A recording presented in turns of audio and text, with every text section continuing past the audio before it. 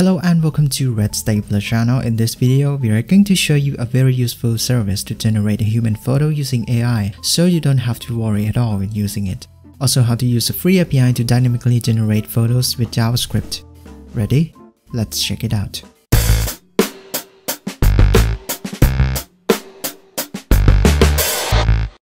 So let's start with go to generated photos website, then click browse photos. These photos are all pre-generated with AI.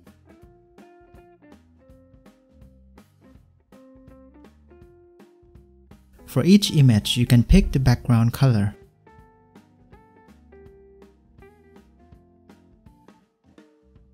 Unfortunately, for transparent background and high-resolution photos, you need to purchase the plan or buy each photo separately for $1. Anyway, you can use the image for free, but you also need to add credit link to generated photos website when using it. You can also customize the filters such as gender, age, hair and eye color, etc.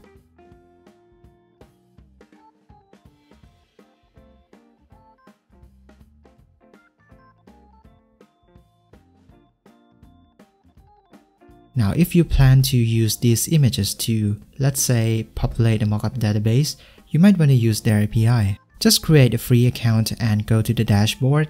You get the API key for access. The free plan allows you to make a 500 API requests per month, which should be enough for personal projects. Making API request is very easy. You will only need to pass the API key in a header and make a GET request to the provided base URL.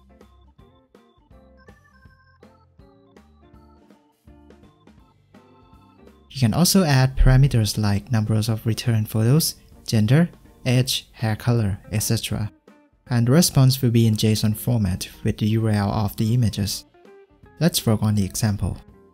First, I'm going to create a synchronous JavaScript function called getFace. I will use a JavaScript fetch to make an API request.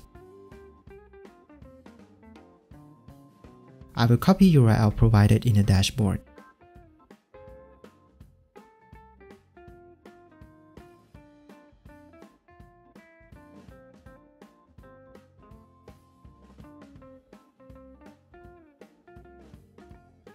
Then set the request method to get.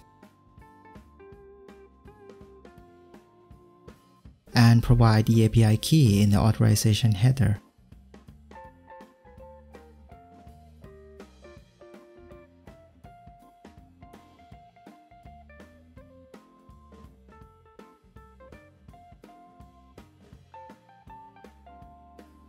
Then we receive the response and parse it using JSON method.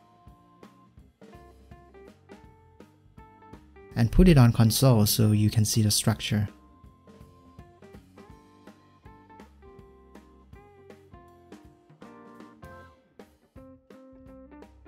The API will provide four different sizes of the image. Now I'm going to create an empty image element. Then I will set the source to return image URL.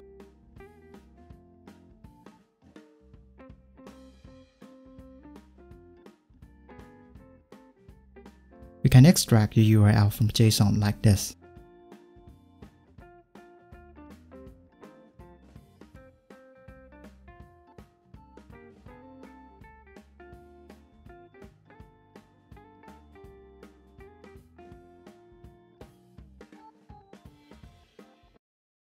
And that's all for this video. If you want to see more web development tips and tutorials, subscribe our channel to stay tuned. Thanks for watching, see you next time. Bye.